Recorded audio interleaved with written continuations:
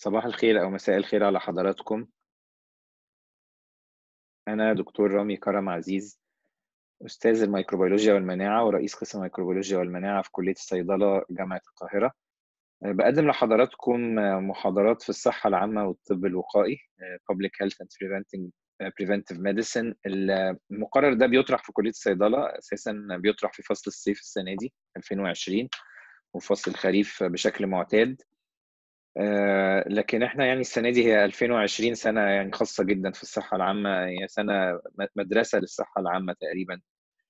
كلنا بنتعلم فيها يعني الحاجات اللي درسناها قبل كده وسواء شُفناها أو ما شُفناهاش، زائد حاجات أول مرّة بنشوفها ويمكن مفاجآت بنشوف إن بلاد مختلفة بتتعامل مع الصحة العامة ب ب بصورة يعني تختلف تمامًا عن مستوى هذه البلاد الاقتصادي وال يعني الريادي في العالم كله، وبلاد صغيرة يمكن قدرت تتعامل بشكل نموذجي. آآ المقرر ده بيُطرح في مق مقررات برنامج الساعات المعتمدة ل يعني لتخريج صيدلي متكامل المعرفة ويقدر يشترك في الطاقم الطبي، لكن إحنا برضه السنة دي أنا ومع إدارة الكلية فكّرنا إن يعني لازم بعض هذه المحاضرات على الأقل فيها مبادئ الصحة العامة، برضه من منظور شوية موجه للي هيبقى صيدلي أو كده، لكن ممكن تُتاح للجميع، فهي متاحة فعلًا إن شاء الله لكل من يشاهدها آآ بخلفية بسيطة جدًا يعني في في التعليم الطبي أو ممكن حتى لو حد بس عنده فضول يشوف بعض الأجزاء، لأننا كلنا بنتكلم في هذه المصطلحات بتاعة الصحة العامة السنة دي. كل التعريفات اللي هتيجي في الكورس والطلبة كانوا بيمتحنوا فيها السنين اللي فاتت أعتقد لا تحتاج لامتحان مناعة القطيع، آآ اللقاح والمَصْل والفرق بينهم، الأجسام المضادة والمناعة الدائمة والوقتية و وكل بقى طرق العدوى وال معدل العدوى اللي بتسمى الR الR node حاجات كتير جدًا بنسمعها وبنكررها كل واحد في الشارع تقريبًا وفي كل بيت بتتكرر وبتتقال، وهل سنصل إلى مناعة القطيع وهل اللقاح سينقذنا، حاجات زي كده. فيعني بدون إطالة آآ أحب أستعرض مع حضراتكم مبادئ ال الصحة العامة وهذا المقرر اللي هو بنسميه في كلية الصيدلة MD 710. آآ المحاضرة الأولى دي هتبقى مجرد مقدمة، طبعًا في الأول يعني تعارف متبادل بيني وبين من يشاهد وبالذات الطلبة في اللي بياخدوا هذا المقرر، وللأسف إحنا يعني مقيدين جدًا مُكبّلين بموضوع التعليم الإلكتروني رغم إن هو طبعًا ضرورة، لكن برضه لا غنى عن إن يبقى في نوع من التفاعل ب بأشكال كتير، وأهمها طبعًا رؤى العين يعني، فطبعًا بيبقى في دايمًا حاجز مهما تبادلنا ال الت التعارف برضه ما فيش حاجة تعوّض اللقاء المباشر، وده هيكون عن طريق بقى وسائط إلكترونية، وإن شاء الله نتقابل برضه مع الطلبة المسجلين في المقرر ده، نتقابل مرّة أو مرتين يعني زي ك كأنها ساعات كده يعني مكتبية عشان نعدّي على المحاضرات ونشوف بقى المفاهيم فيها وتكونوا أنتم موجودين live. آآ بالنسبة للمحاضرة الأولى غير يعني غير إن أنا هاقدّم نفسي والكورس، خلفية سريعة عن ما نحتاج تذكُّره من مقررات الميكروبيولوجيا والمناعة وحاجات مبسطة جدًا، وبعدين هنتكلم على 3 حاجات في المحاضرة دي، تعريف الصحة ومقاييسها، ما هي الصحة العامة، يعني إيه الفرق بين الصحة والصحة العامة بالذات، أو بين يعني تدريس التعليم الطبي عامةً والصحة العامة، وبعض المبادئ البسيطة عن علم الأوبئة أو الepidemiology. وزي برضه ما قُلت في المقدمة كنوع يعني برضه من الاحتراز في الأول، آآ نحن في النهاية بنقدّم حاجات بسيطة جدًا و متخص يعني في تخصص الصيدلة أساسًا، آآ إلى جانب معارف عامة، لكن طبعًا لا غنى عن عندنا خبراء عظماء طبعًا في هذا المجال، ويعني لو بيشوفوا ده أو في أي وقت لاحظوا حاجات مش دقيقة أو ناقصة أو محتاجة إضافة يعني يشرفونا بتعليقاتهم، لأن في ناس طبعًا في مصر بتشتغل أساسًا في الطب الوقائي سواء في وزارة الصحة أو في معامل مركزية أو في الكليات المختلفة، كليات الطب، أقسام الأمراض المتوطنة وما إلى ذلك. آآ بدون بقى مقدمات طويلة ن ندخل في الموضوع، أنا طبعًا لو بعض الطلبة في كلية الصيدلة درسوا معايا قبل كده، الإيميل بتاعي موجود، واللي بيدرس المقرر ده في كلية الصيدلة فريق منذ عدة سنوات تقريبًا هو نفس الفريق، منسق المقرر دكتور أيمن سمير، آآ وأنا معاه إحنا الاتنين أساتذة في قسم الميكروبيولوجي، ومعانا دكتورة ريهام سمير وهي م أستاذ مساعد في قسم الميكروبيولوجيا والمناعة. بالنسبة لي أنا يعني طبعا تخصصي الرئيسي يعني أي أي أي حد في في البحث العلمي بيتخصص زي ما شفنا يعني في الفيلم العربي بتاع دكتور رافي حتى يعني ممكن يبقى التخصص دقيق جدا. فأنا اشتغلت أبحاث من سنة 96 من بداية ما اشتغلت معيد في كلية الصيدلة. وبعدين يعني طبعا ما بين الأبحاث والتدريس سافرت في سنة 99 للحصول على الدكتوراه. واخدتها من جامعة اسمها University of Tennessee Memphis. رجعت كلية الصيدلة وسافرت تاني أعمل برضو دراسات بيسموها يعني post doctoral أو يعني دراسات متقدمة شوية ومتخصصة أكتر. في مجالات هي أساسا الميكروبيولوجيا والأمراض المعدية وربطها بالجينات برضو في فيما يعرف سواء بال immunogenetics أو المناعة يعني علم الوراثة المتعلق بالمناعة. أو بشكل أكتر تخصصت في علم ال genomics أو علوم الجينوم لما ابتدت ودرست يعني عدة أمراض بكتيرية زي ال Streptococcus وامراض بتسببها ال Escherichia coli وال H. pylori وبعدين الأمراض اللي بتسببها بكتيريا مضادة للميكروبات multi resistant pathogens وأخيرا بنشترك في مشروع لمعرفة جينومات البكتيريا المختلفة اللي بتنتشر في المستشفيات سواء ممرضة أو غير ممرضة. فده يعني موجز سريع لإيه؟ إيه اللي يؤهلني أو يخليني أكلمكم عن الصحة العامة؟ زائد إن أنا حتى الآن عضو في ال council أو يعني المجلس بتاع ال International Society for Infectious Diseases أحد الأعضاء الممثلين لمصر وأفريقيا فيها. واللي طبعا سخرية القدر إن يعني المؤتمر السنوي بتاعها اتلغى في بداية يعني كان في, في نهاية شهر فبراير في بدايات تحول مرض الكوفيد 19 اللي هنتكلم عليه كتير قوي طبعا في المقرر ده. تحوله من وباء يعني محلي إلى حد ما في الصين والبلاد المحيطة بها إلى جائحة عالمية. وهنتكلم على كل الكلام ده دلوقتي. حضراتكم يعني لو لو منكم ناس درسوا معايا في السنين اللي فاتت أو أي حد بيشوفني لأول مرة أنا بتبنى يعني فلسفة تدريسية teaching philosophy بتاعتي بتعتمد يعني يمكن اللي سهل الموضوع ده أكتر واللي بيخلي الفلسفة دي الدراسية يمكن كلنا دلوقتي بنستعملها هي إن إن إحنا مضطرين كلنا نتعامل الكترونيا لكن هي ما لهاش علاقة بالتعامل الالكتروني قد ما ليها علاقة بموقع المعلم والمتعلم. فزمان طبعا أيام بقى القرون الوسطى والبدايات كان دايما المدرس ده فوق قوي والطلبة يعني بيجلسون عند أقدامه للتعلم. وكان ده ليه أسباب إن ما كانش في كتب ولا وسائط إلكترونية. فكان العلم كله بينصب من أعلى إلى أسفل يعني بالمعنى المفهوم من البوتنشال العالي للأقل. دلوقتي بالعكس المعرفة متاحة وتغمر الجميع وتزيد على طاقة الجميع. فاللي محتاجينه من ال instructor اللي هو أنا في هذه الحالة هي الخبرة أكتر مش المعرفة بمعنى المعرفة المعلومات. إحنا نتبادل المعرفة مع محتوى المقرر عشان وده اللي بيحصل بالفعل بسبب الجائحة. يعني دلوقتي أنا حتى مش أنت مش بتيجي تقعد معايا تسمع المعلومات الأول لأ بالعكس. أنت بناخد ال course content أنت بتلاقيه فيديو بتلاقيه ملفات PDF وبتلاقيه في يعني مذكرة المقرر وتقعد تقراه وبعدين بتقابلني مرة تانية ده اللي أحيانا بيسموه ال flipped classroom إن إحنا بن يعني بنقلب الفصل. مش أنا بديك المحاضرة وأنت تروح تذاكرها لأ أنت بتذاكر المحاضرة وتيجي تقابل المعلم ورب ضاره النافعه الأسلوب ده بيحقق استقلالية أكتر للل learner المتعلم وبيحقق له كمان إن هو يعني يبني نفسه بنفسه عشان بعد كده بعد ما اديكم شايفين يعني زي ما زي ما بقول جائحة كوفيد 19 دي إحنا كلنا بنتعلم منها حاجات كنا بندرسها وبندرسها بس يعني ليس كمن رأى كما ليس من سمع كمن رأى وايده في المية مش زي اللي إيده في النار فبيقول إحنا بنتعلم حاليا بالتجربة رغم قساوتها بس إن شاء الله يعني الخبرات دي هتفيدنا كويس. جدا مش عايز أطول في ده بس أنا عايز اكد عليكم إن حتى لو بتفصلنا الكاميرات والمسافات وأنا مش قادر أشوفكم في النهاية برضو التعلم القديم أو بعض الناس بتستعمله اللي هو الصب في قوالب إن الطالب كله يحط كل حاجة في دماغه ويطلع. ده لا يجدي لأنه بيطلع نسخ متشابهة من بعض ومتشابهة من كلام المعلم غير متعلقة بالواقع. بينما التعليم الذي نتمناه يعني شيل الكاميرا برضو عشان أخفف الفيديو عليكم شوية. ما يبقاش ال memory تقيلة قوي فيه. التعلم الأمثل يعني قد يكون عن طريق إن أنت تفتح مخك وكل طالب يتحمل مسؤولية تعليمه إلى حد ما. والهدف هو self يعني أنا هدفي ونجاحي زي ما بقول لكم يعني كتير منكم درسوا معايا قبل كده طبعا.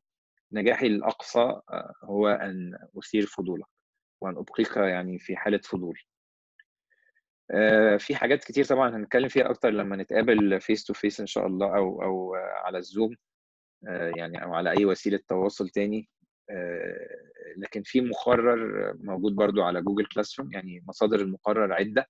ومعانا دايما في أنا شايف الصحة العامة بالذات من المواد اللي هي تعلم مستمر. فبالتالي كنا من عدة دفعات من سنة 2014 15 عاملين blog مع الطلبة يمكن ما تجددش كتير بس ال blog ده فيه معلومات وافلام وحاجات طريفة عن ال public health اسمه micro405.tumblr.com في موقع آه، و application على التليفون آه، اسمه Quizlet الموقع اسمه Quizlet dot com وال application اسمها Quizlet app دي هتلاقي فيها كل ال terminology اللي ليها علاقة بال course وده الرقم بتاعه. طبعا لما تاخدوا المحاضرة ممكن تدوسوا على ال link ده من ال PDF أو تكتبوه. آه، زائد إن في برضو وسيلة تانية اسمها Socrative أنا بحب أستعملها في التعليم التفاعلي برضو. وهي برضو application أو website سواء تدخلها من كمبيوتر أو من تليفون أو تابلت بتخش ك student ممكن تخش ك teacher في وقت تاني يعني وتدي أسئلة للناس لكن هي ميزتها إنها بنتشارك فيها أسئلة. يعني أنتوا لو دخلتوا دلوقتي على Socrative وأنت بتشوف المحاضرة دي غالبا هتلاقي بعض الأسئلة. لو لسه داخل في أول المقرر هتلاقي الأسئلة اللي أنا لسه حاططها. لو هتشوف المحاضرة دي متأخر هت... غالبا هتلاقي دايما في quiz مفتوح ممكن تشترك فيه. آه... ندخل في يعني في مجال بقى أو نطاق الكلام اللي هو ما هي الصحة العامة وما هو مقرر الصحة العامة السنة دي. زي ما حضراتكم عارفين زي ما قلت في الأول برضو المقرر ده مطروح في كلية الصيدلة آه، سواء كجزء من يعني المقرر الصيفي أو مقررات الخريف. ولكنه آه، أحد هذه الكورسات اللي بتبتدي MD مش مبتدي بأي حاجة pharmaceutical لأن هو أحد المقررات الطبية. آه، بتسمى الطب الوقائي أو preventive medicine وهو من العلوم الطبية. وفي نفس الوقت في كلمة public عشان كده دايما public health من ال... يعني لما نيجي نتكلم في البابليك هيلث عامة سواء كلام عام أو كلام علمي في الحالتين آه، هو يعني في تداخل بين كذا حاجة. أولا طبعا بين العلوم الصحية عامة وبالذات الطبية. ثانيا بين البابليك اللي هو الحاجات العامة اللي هي الأمور اللي يعني كل حاجة في الدنيا ممكن تبقى بابليك طبعا ولكن هنا المقصود به صحة المجتمع الصحة العامة هي الترجمة الحرفية. فمن ناحية هي معرفة هامة لكل شخص مش لمجرد الأطباء. أو يعني الصيادلة أو الفريق الطبي. ثانيا هي كمان أمور عامة لدرجة إن تدخل فيها سياسات. وبالتالي ال public health آه، هو أحد هذه الحاجات العلوم اللي هي فيها سياسة وفيها علم. يعني مثلا منظمة الصحة العالمية آه، اللي بتعمله بيسمى سياسات policies سواء بقى يعني أنا مش قصدي بالسياسة الحكم وتداول السلطة ومش على الانتخابات لكن في النهاية المقصود بيها وضع سياسات. وبنشوف ده بالظبط في الحالة اللي إحنا عايشينها برضو 2020 سنة الجائحة إن كل بلد بتنتهج في الآخر سياسة مختلفة تتفق مع مبادئها مصادرها مع الطبقة الحاكمة فيها. لكن لا يمكن فصل يعني يمكن فصل العلم عن السياسة في أمور كثيرة لكن في الصحة العامة لازم هتلاقي السياسة بتتدخل ممكن السياسة تروج يعني مش عايزين بقى نخش في تفاصيل بس تلاقي أحد الحكام بيروج لمثلا دواء معين. حاكم تاني بيقول إحنا اللي سبقنا البلد الفلانية ونزل الدواء بتاعه قبل أو اللقاح قبل وهكذا. الحاجة التانية الفريدة من نوعها في هذا المقرر واللي برضو أحب نركز عليها هي إنه إذا كانت كل المقررات الطبية والصيدلية اللي إحنا بندرسها أو درسناها لغاية دلوقتي عن المرض disease وده بطبيعة الحال. يعني أنا في كلية الصيدلة طبيعي إن أنا هتكلم عن الأمراض عشان عايز أعالجها. لكن هذا المقرر بيتكلم عن الصحة. آه، نفس الحكاية في الدراسات الطبية. أنت بتدرس الأول الوظائف بتاعة الجسم ال physiology وال anatomy والوظائف يعني شكل الحاجات الطبيعية إيه؟ وبعدين تدرس ال pathology علم الأمراض. والاعضاء دي لما بتبوظ بيحصل لها إيه ووظائف يعني ال pathophysiology وحاجات زي كده. فهذا هو علم برضه فريد من نوعه ومقرر انترستنج جدا ويمكن طبعا دلوقتي بقى يعني زمان كان برضه الطلبة بتقول يا ده عامل زي مادة التربية الوطنية اللي كنا بندرسها زمان. ده كله مش عارف اعمل كذا وكذا وكذا. آه لأن في سياسات ولكن هو في الآخر آه، حاجة معاشة جدا ومرتبطة باللي إحنا بنعمله كل يوم. فبالتالي يعني لو لو مقررات كلها هدفها إنك تعالج برضه سواء في المقررات الطبية أو الصيدلية. هذا المقرر فريد من نوعه إنه هدفه الوقاية أو منع المرض avoid the disease. يعني أنت عايز لو نجحت في هذا المقرر مش هيبقى ليك شغل. طبعا بهزر يعني هو برضو دي حاجة مهمة نعرفها إن زي ما ناس كتير بتهزر في الموضوع تقول يعني أو تتندر وتقول لك يعني الصيدلي والطبيب ده بيتكسب من أمراض لا طبعا الكلام ده. يعني في حاجات كده بتفقد أحيانا الرسالة بتاعتها مثلا لما بنشوف ممارسات بعض الناس الخاطئه لكن بالعكس دي علوم يعني انت بتشترك في إنقاذ حياة إنسان بمعنى الكلمة. يعني أنت ممكن واحد يخش في الاجزخانه ما يلحقش يروح أي حتة تانية وممكن تديله قرص معين life saving حاجة يعني ممكن ياخد اللقاحات في, في سواء في الاجزخانه أو في المستشفى على يد طبيب أو صيدلي أو أو أو. فإحنا بنتكلم في حاجات بتنقذ الحياة في التو واللحظة وحاجات بتنقذ الحياة على المدى الطويل من خلال سياسات بتتعمل. ف طيب يعني هل لو الأمراض خلصت الوظائف دي هتروح؟ يعني ده طبعا يعني الامراض لا تنتهي ولكن يا ريت الأمراض تنتهي. مين مين ما يتمناش كده؟ الاتجاه في العالم كله دلوقتي إن أنت ما تروحش المستشفى. يعني وبالظبط زي اللي بيحصل برضو بسبب الجائحة. لو تقدر ما تروحش الكلية ما تروحش لو تقدر ما تروحش المستشفى ما تروحش. ليه؟ أنت حتى لما بتروح مستشفى لأي أو العيادة لأي سبب ما أنت بتقابل ناس يعني ده حيث المرضى كلهم موجودين أو المرضى المشتبهين. فأنت ممكن تروح بمرض وترجع باثنين تتعدي من حاجة ثانية فالاتجاه في الطب كله حاليا مش بس يكون طب وقائي إنما هو proactive medicine و proactive health بمعنى يعني يا ريت الاجزخان زي ما في ناس بتتريق مثلا الاجزخان بيقولوا فين الأدوية دي كلها مش عارف مستحضراته. يا ريت الاجزخان ما يبقاش فيه أدوية خالص في المستقبل. يا ريت يبقى كلها فيتامينات وحاجات بتخلي صحتك يعني تخليك تبقى في حالة الصحة. نفس الحكاية في زي ما قلنا في الهدف أو ال mission بتاعت الطب. لو ال mission بتاعت الطب نجحت أنت ما تروحش مستشفى خالص. يعني لو الدكتور دكتور القرن القادم اللي كانوا بيقولوا عليه القرن ال 21 اللي هو ابتدى خلاص أو الألفية يعني بتاع بتاعتنا دي.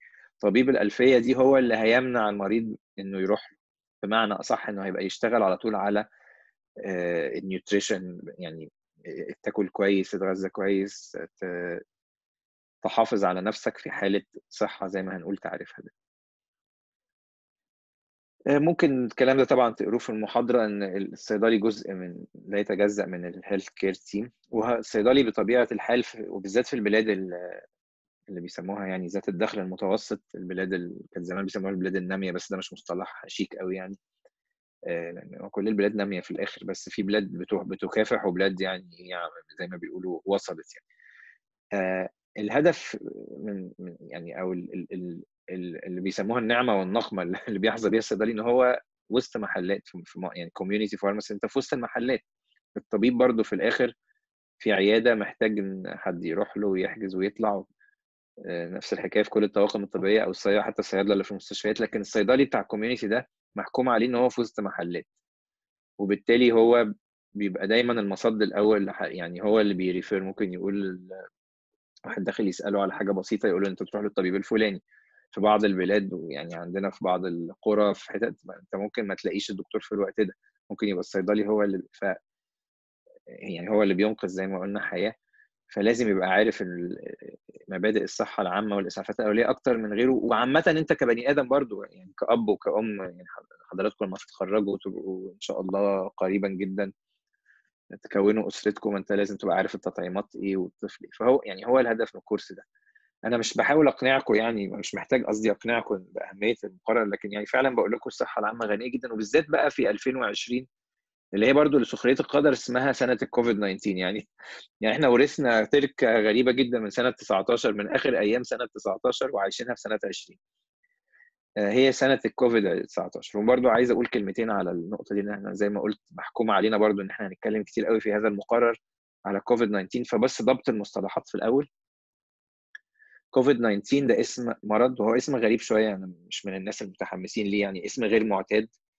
إنك تلاقي المرض مش باسم المرض المسبب للمرض مباشرة. فهو أول ما المرض ده ابتدى سموه coronavirus Chinese أو الوهان كورونا فيروس اللي هو ظهر في إقليم وهان. بس الكورونا فيروس دي عائلة كبيرة جدا من الفيروسات زي ما كل الناس حافظة دلوقتي. فحبوا يعينوا الفيروس ده. بسرعة جدا اكتشفوا إن الفيروس ده من عائلة خاصة من الكورونا فيروس اسمها ال beta coronavirus وتبع عائلة السارس اللي ظهرت. في 2003 وهي فيروسات قاسية جدا يعني مش مش زي ال coronaviruses القديمة اللي عندنا من زمان واللي بتسبب لنا أدوار برد أو شبيهة بالبرد.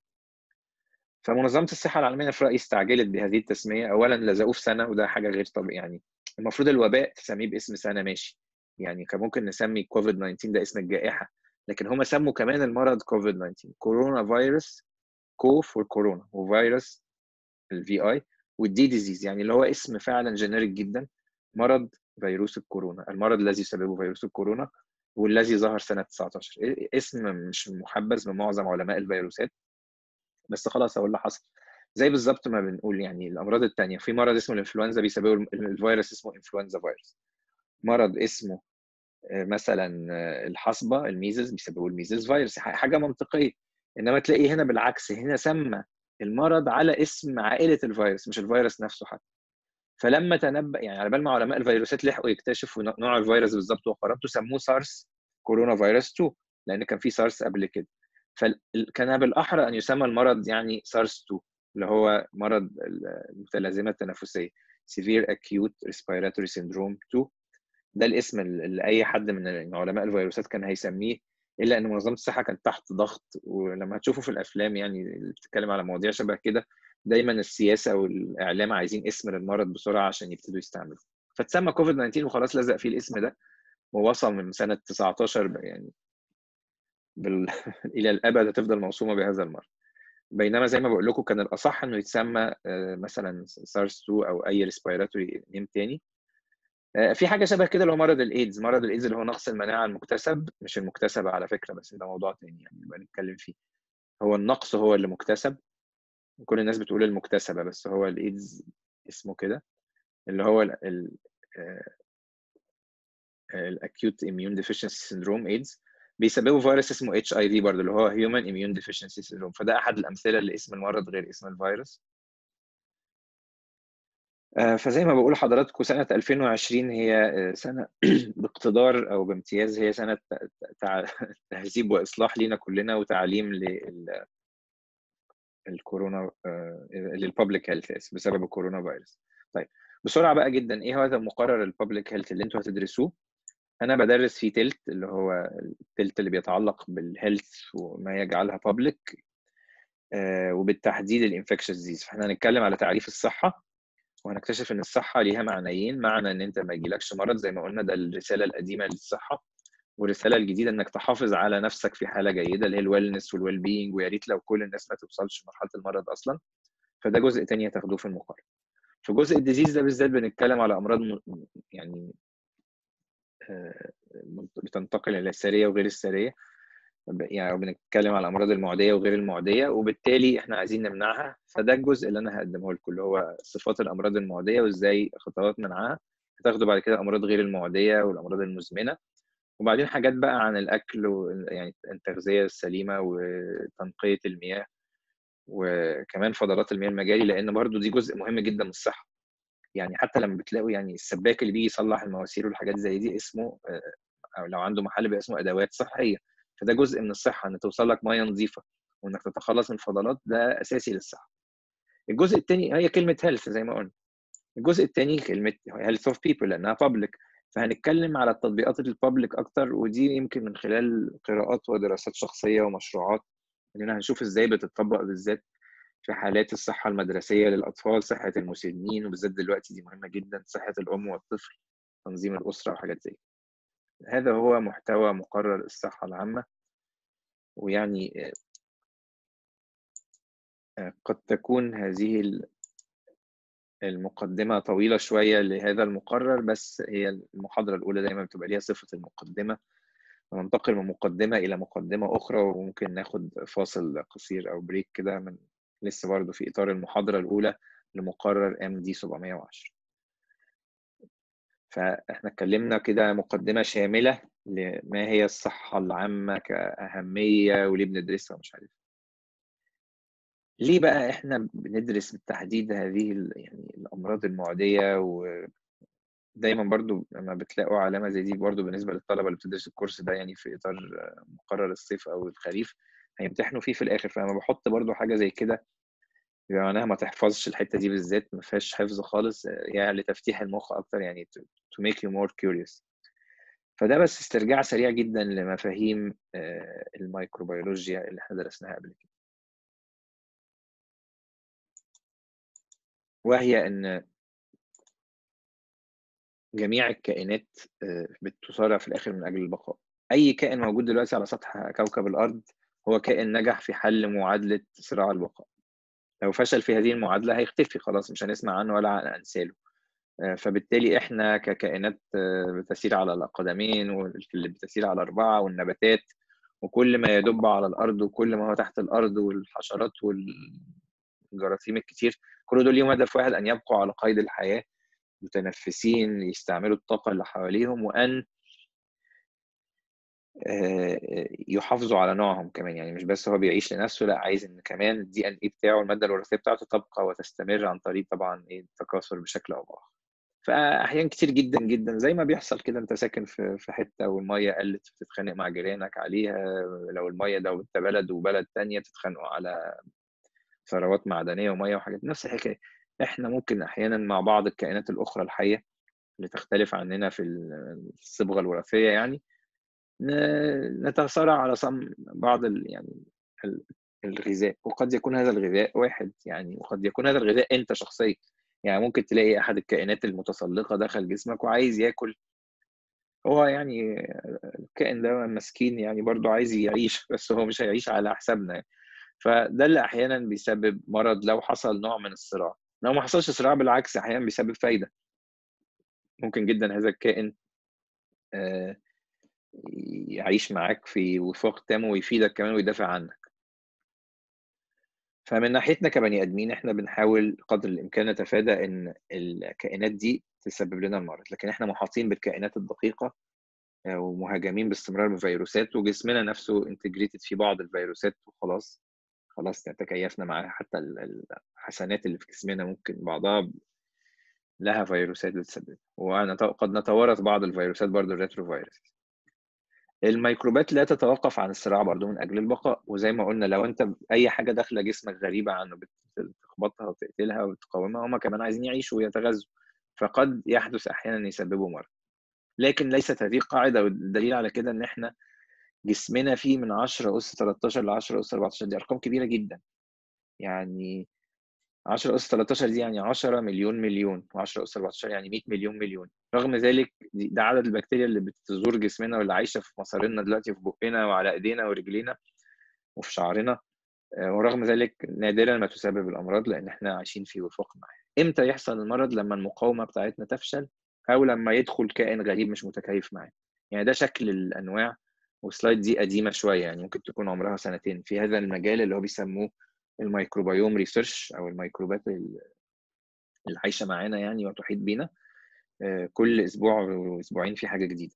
فهو يعني إحنا اللي عارفينه إن في حوالي 600 نوع من أنواع البكتيريا أو يعني الكائنات الدقيقة عايشة معانا. في في الرئة مثلا و1000 نوع في في الجلد وفي مش عارف الجهاز التناسلي كذا في ال intestine يمكن من أغنى المناطق فيها من 500 ل 1000 species وهكذا. ودول بي بيقاوموا معانا الب... يعني البكتيريا اللي جاية من بره هم يعني اللي هو أنا وأخويا على ابن أنا وفضل يعني بيسموه إيه؟ آه ما بتعضش الإيد اللي بتتمد لها يعني اللي هو إحنا ولي نعمتها فهم بيدافعوا عننا برضو. برضو لمصلحتهم في الآخر إن هو البكتيريا اللي معششة في ال intestine بتاعنا وبتفيدنا بتعمل لنا فيتامينات. مش عايزة بكتيريا تانية تيجي من بره تاخد. تسحب الأرض منها وتتغذى على حسابنا وعلى حسابها. ففي اتفاقيات دفاع مشتركة بيننا نيجي بقى المصطلحين مهمين جدا نفتكرهم برضو من دراساتنا السابقة. ال infection هي العدوى. الكلمة دي بنغلط في, في كلمات كده كتير قوي هتلاقونا بنغلط فيها كتير في الكلام الدارج. لازم ما نغلطش فيها في مقرر اسمه الصحة العامة. أحد هذه الكلمات ال infection اللي دايما كلمة كده infection حتى فيها شين وكش وكده فبنتخض ال infection مش معناها مرض. هي الكلمة بتخض وأحيانا بتلخبطنا مع كلمة inflammation اللي هي معناها التهاب. ال inflammation ده استجابة مناعية من جسمنا قد تكون لخشبه دخلت في جسمك ملهاش علاقة بال infection بالتحديد لكن معظم ال infection بسبب ال inflammation ماشي؟ لكن الكلمتين غير بعض هما الاثنين بيبتدوا ب inf بس مش زي بعض. هما الايه infection دي infection معناها عدوى يعني دخل علاقة بينك وبين ال parasite parasite دخل جسمك كائن متطفل دخل جسمك. قد يكون هذا الكائن ضار وغير أو غير ضار أو زي الهواء كده ملوش أي فايدة ولا ضرر. لكن في جميع الأحوال ال infection لا تعني المرض تعني العدوى بس هي الكلمة دايما في دماغنا معناها مرض. لما يقول لك حد جاله infection بتتخض على طول وعايز. وقد يكون شخص عنده infection ولا يكون عنده disease ونفس الشخص التاني يجي له نفس ال infection ويجي له disease ليه ده بقى؟ بسبب حاجات كتير أهمها ال immunity كلمة immunity دي طبعا درسناها كتير كلمة لاتينية بمعنى immunis كانت بتطلق على الناس المعفيين من الضرائب في الدولة الرومانية. معفي immune يعني معفي يعني عنده حصانة. فهي الكلمة لزقت بمعنى حصانة. فاحنا الحالة الطبيعية بتاعت جسم الإنسان إنه في مناعه وده طبعا درسناه من زمان إنه حصين. لكن الاستثناء هو إن يحصل خلل في المناعة فتتحول ال infection إلى disease فدي ده concept مهم جدا. الميزان ده بيحكمه مين؟ قدرة الميزان اللي يسبب مرض أو لأ أو حتى يخلي ال infection تنجح ولا لأ؟ ما هو ال infection الكائن عايز يدخل يعيش جواك. عدو ولا حبيب دي هنعرفها بعد شوية. ممكن سواء عدو ولا حبيب جسمك بيتصدى ليه. حصل يعني توافق بيننا خلاص. ما حصلش توافق هي الكائن ده هيدخل جسمنا. يا قاتل يا مقتول بقى. يا أنت هتتخلص منه يا هو هيسبب لك المرض سواء المرض ده قد يكون وقتي أو مزمن أو قاتل حتى. فقدرة ال parasite أو قدرة البكتيريا الممرضة أو الفيروس دي حاجة وقدرة ال host برضو بتختلف من شخص للتاني والدفاعيات بتاعته. إذا اللي عايزين نتفق عليه بس في بداية هذا المقرر ان ما نلخبطش بين كلمة infection و disease infection دخول بكتيريا جسمك وإنها تترستق في الجسم ده. disease لو البكتيريا دي ممرضة ولو جسمك فشل. وبهذا المعنى يعني ال disease ده بيحصل when our immune system fails to control يثبت البكتيريا دي في مكانها ويعقد معاها اتفاقيات مشتركة أو يخلص منها خالص. فبالتالي ال infection لا تعني بالضرورة المرض. بالتالي كمان ممكن شخص عنده عدوى ما يكونش عنده مرض ولكن ينقل العدوى دي لشخص تاني. والله أعلم الشخص التاني يبقى عنده مرض ولا لأ وده بنشوفها كتير قوي وبرده موجودة في حالات الكورونا فيروس. إن ممكن واحد يبقى شكله غير مريض وهو غير مريض ليه؟ المرض دايما مقترن ب signs and symptoms علامات وأعراض. علامات بيوصفها بتبان على ال... يعني signs بتبان على الشخص من بعيد أو يعني تشوفها من الخارج وال symptom اللي هي بيوصفها وهنقول الكلام ده تاني. لكن ممكن الشخص ما يبقاش عليه أي signs ولا symptoms ما عندوش disease لكن ينقل الفيروس أو البكتيريا لشخص تاني في حالة الكوفيد 19 ممكن الفيروس يتنقل من واحد ما عندوش أي أعراض وليس عليه أي مرض لكن اللي يجي له منه يحصل له مرض. اثنين ممكن يبقى واحد تخين وطويل وعريض طول بعرض وما عندوش أي حاجة. وواحد جنبه رفيع ومش عارف يعني صغير وما عندوش أي حاجة برضه. ويجي يعدي واحد بقى شكله perfect health يعني لا هو تخين ولا رفيع ولا قوي يعني اللي هو بيقولوا عليه يعني نموذجي. والشخص ده جهاز المناعة بشكل ما يا إما يعجز في الانتصار على المرض يا إما جهاز المناعة يستجيب بشكل مبالغ فيه قوي يسبب مرض أكتر. ثالثا معنى كده إيه؟ كل ده برضو في الدردشة يعني أنا مش عايز نركز على كل المفاهيم بس دي حاجات إحنا عايشينها. الفرق بين العدوى والمرض مهم جدا نبقى عارفين. ال vaccine بالتالي ممكن يمنع في بعض ال vaccines قليل جدا بيمنع العدوى ال vaccine عامة أو اللقاح ليس هدفه إنه يمنع العدوى يعني لو نبنى على العدوى يبقى حاجة جميلة جدا بس هو في النهاية هدفه يمنع المرض فأنت ممكن تبقى واخد لقاح يخش جوه جسمك البكتيريا أو الفيروس وبما إن أنت مطعم وعندك اللقاح ده جسمك يستجيب تماما وينتصر. لكن مش شرط تقضي على الفيروس. مفيش غير فيروس واحد تقريبا البشرية قضت عليه تماما اللي هو الجدري smallpox وفي فيروسين تانيين كده في طريقهم للقضاء عليهم. لكن في النهاية العدوى بتبقى موجودة والمرض هو اللي مش موجود. وبالتالي التطعيم مهم جدا لكل الناس. مش مجرد إن أنت يعني مثلا نص يعني طبعا هنتكلم برضو في مفهوم مناعة القطيع في الآخر. مش عايزين نسبق الأحداث. بس مش مجرد إن خمسة ستة كده اتطعموا ينزلوا بقى من غير كمامات وكده. طب ما هو ممكن يعني طبعا برضو الموضوع نسبي يعني في حالات حسب نوع العدوى وسرعتها وعدد الناس المعدية. لكن ممكن جدا شخص متطعم وصحته زي الفل وهو مش هيبان عليه المرض لكذا سبب يعني. لأنه اولا متطعم ولأن صحته كويسة ومناعته مظبوطة لا زيادة ولا قليلة. وممكن نفس الشخص اللي اتطعم يتعدي ويعدي وهو ما عندهوش أي أعراض فبالتالي ده برضو من أهمية فهمنا الفرق بين المرض والعدوى دي مداخل مش عايزين نطول فيها بس دي مداخل اللي ممكن العدوى تخش بيها للجسم. ممكن تخش طبعا دي رسمة يعني تخطيطية مش رسمة حقيقية. إحنا بالنسبة للبكتيريا مصدر غذاء كبير قوي. فهي ممكن تخش من أي فتحة تشوفها من الماوث تخش على المعدة مثلا أو تخش في الجهاز التنفسي برضو من الأنف على الرئة. ممكن تخش من من ال mouth وتطلع بعد كده من الجهاز الهضمي إلى الفضلات إلى الخارج وتعدي حد تاني. ممكن تخش من الجهاز يعني ال urinary tract أو الجهاز التناسلي مثلا. وممكن تخش عن طريق الجلد رغم إن الجلد سور حصين إلا إنه ممكن يتقطع عن طريق جرح مثلا زي هنا الخنجر الفظيع ده أو قرصة ناموسه أو قرصة حشرة معين فكل دي مداخل للبكتيريا ممكن عن طريق العين. طبعا الصورة دي كتير منكم قوي شافوها وهي شائعة جدا في في عصر الكوفيد 19 برضو.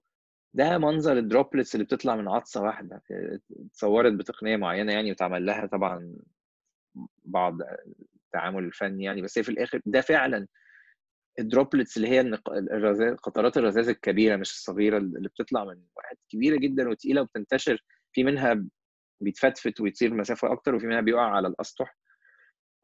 فدي عطسة ممكن تمنعها كمامة مثلا. آه ممكن يعني الكمامة تضايقك وكده بس تخيل كمية الرذاذ ده كله لو أنت عندك.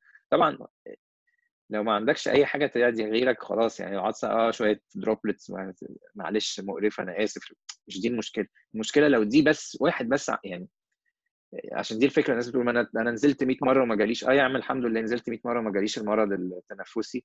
عشان ما فيش حد حواليك عنده لكن واحد بس يكفي إنه يعدي 100 واحد و100 واحد ممكن ما يعدوش ولا يعني هي دايما إحنا لما بنحسب معدل العدوى بنحسبه في المتوسط.